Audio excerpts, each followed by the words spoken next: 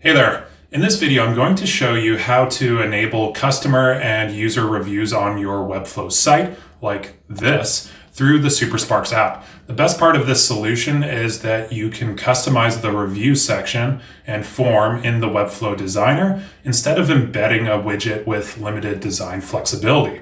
As you can see, a Webflow user was able to create a fully functioning Goodreads clone with this solution. And just in case any Amazon lawyers are watching this, I do not know who made this. This solution is also integrated with MemberStack and Webflow's memberships tool. So as you can see, when a logged in member leaves a review, data from their account like name and profile image get displayed on their reviews. So this is not only great for adding reviews to e-commerce product pages, but also creating a reviews based community like Goodreads, Rotten Tomatoes, or Rate Your Music. Did I also mention that this solution is 100% no code and should only take two minutes to implement? Don't believe me? Well, start the timer. Okay, the first step is to sign up to SuperSparks if you haven't done so already, which you can find a link to in the description. And afterwards, we're going to be redirected to an authorization screen. So we're just going to select the site that we want to add reviews to and click Authorize App. Then the first step is to go to SuperSparks and click Add Sparks on the project we just authorized. Then we're going to select e-commerce and CMS reviews and click the call to action below. And afterwards, for the purpose of this demo, we're just going to select CMS or static pages and click proceed. Then after clicking proceed, we will see a collection of styled and unstyled templates to help speed up the installation process, including the Goodreads clone that we saw earlier in this video. But to change things up, I'm going to select the Hims and Hers clone, and then I'm just going to click copy template.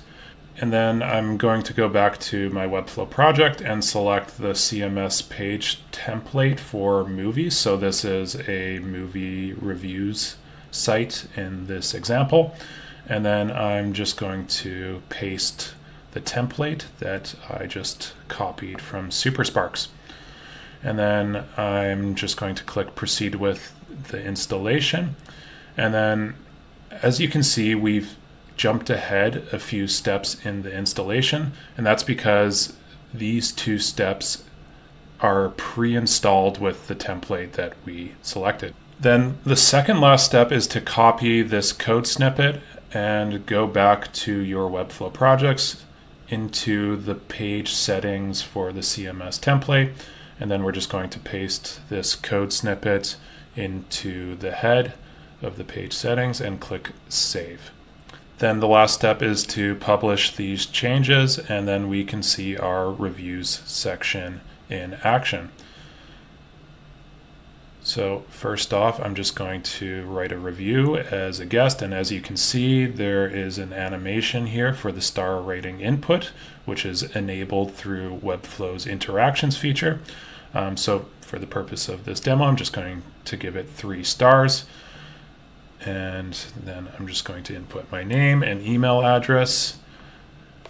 Um, and then I am just going to write my review. So enthusiastic. Okay, now when I click post review, you'll see that the review gets posted immediately without the user needing to refresh the page. Now, every aspect of the review section and reviews form are fully customizable in the Webflow designer. Um, so if we just take a look at the form, which is being revealed through a pop-up interaction, you can actually change the images for the filled and unfilled star icons in the rating input. And then on the review section, we can also do the same thing. So I'm actually just going to change the unfilled star icon in the review card. And then if we publish again and take a look at the new published version, you'll see that the new unfilled star image is visible. And also the amount of filled and unfilled stars created on this review card is based on the star rating the user gave for this review and also the denominator. And one other important detail worth noting is that you can always moderate your reviews and content by going to the Manage Reviews overview inside of the Super Sparks editor. So for this example, I'm just going to delete the first review that I posted. And then if we go back to SuperSparks, as you can see, we now have two reviews and refresh the page, you'll see that that review that we deleted is no longer visible on this page. And also the average rating has been recalculated. So there you have it. We've now enabled reviews on our website, but this is just the most basic form where only guests can review. But what about setting up member reviews through MemberStack or Webflow memberships? Well, let me show you that along with a few other tips and tricks. Now, for enabling Webflow's free memberships tool, if we go to the extra function step, you'll see that there are a few extra functions that weren't included with the template and some that were. Um, but the one we're interested in is the membership fields extra function. Now, the first step for enabling member reviews is to go to the settings, and there are a bunch of other review settings that I encourage you to look through. But the one we're interested in is the memberships tool setting. And we're just going to select Webflow memberships as our tool and click Save. And once the settings are saved, the next step is to go back to the extra functions and the membership fields extra function. Then with Webflow memberships, the author name will always be the default name field in the account settings, which is essentially the full name of the user. But if we wanted to add custom fields like username and profile image, and these are the only two right now available in SuperSparks, we are just going to make the slugs of these fields inside the Webflow member settings identical to the ones in SuperSparks. So if we just take a look at this account that I'm going to comment from in Webflow memberships, you'll see my full name, which would be displayed on the name element from the template, profile image, and username. And in case it's not clear, username is more like the author name you would see on a site like Reddit. Now, since a username element was not pre-installed with the template we selected, I am just going to add a new text element to the review card. And then I am just going to style this a little bit, make it blue and give it a bit of a margin. And then I'm just going to add a base class. Then I'm going to go back to SuperSparks and the username extra function and just copy the username class and go back to Webflow and add it to the element we just created as a combo class. Then the steps are to copy this slug ID and then go back to the user account settings in Webflow then we're going to click on the settings for the username custom field and replace the current slug with the one that we just copied to our clipboard and click save. And then on Webflow, I'm going to copy the slug ID for profile images and go back to the user account settings, this time for the custom settings for the profile images file field and then I'm just going to replace the current slug with the one we just copied. Now the name and email inputs on this template form are more for guest reviews, but since the name and email are automatically collected whenever a logged in user reviews, they don't need to waste their time inputting this. So if you wanted both guest and member reviews, I highly recommend using Webflow's user account visibility setting and just setting each element to only show when user is logged out. Now let's test this out. So first off, I'm just going to log in and let's fast forward through this. And since I'm logged in, these inputs are no longer visible when I open up the form. So I can just simply leave a review without needing to input name or email. And when I post my review, the name, profile image, and username from my account gets automatically displayed on my review. Now on to MemberStack. The first step for MemberStack is to go to our settings and select MemberStack as our membership tool. And if we go to the membership fields extra function, there are two custom field inputs.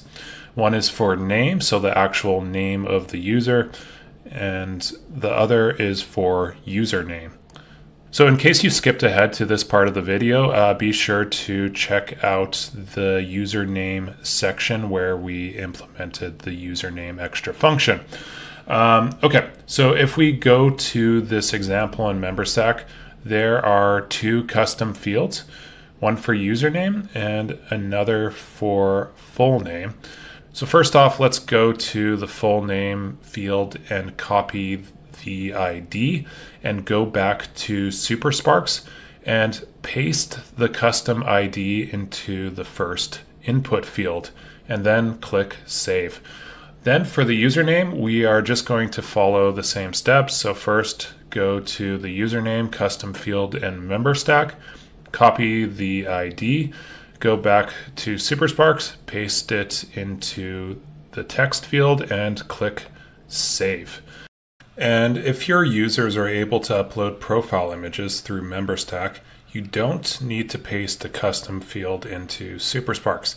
The image will automatically be displayed in the image element from the template. Similar to what we did for Webflow memberships, if we wanted to enable guest and member reviews, and also considering that the name and email data is automatically collected from logged in users, we can hide these input fields from the form from logged in members. Here is a resource from MemberStack with more info on how to do this, which I will provide a link to in the description. But basically, you are just going to need to paste this attribute here to all of the elements you want to hide from logged in members. Okay, now let's leave a review as a logged in member. Now, if I open the review form, you will see that the name and email inputs are hidden. And if I just leave my review, then all of the data from the name, username, and avatar custom fields are dynamically displayed on my reviews from my account. One additional detail worth noting is that you might notice that whenever the page was loaded in these examples, the designer placeholder elements flicker very briefly. Now, this might only be a problem for pages where the reviews are in the first few frames of the page, but to remove this flickering, go to the grid with the Super Sparks class on it and decrease the opacity to 0% and publish. And you will see that flickering is no more.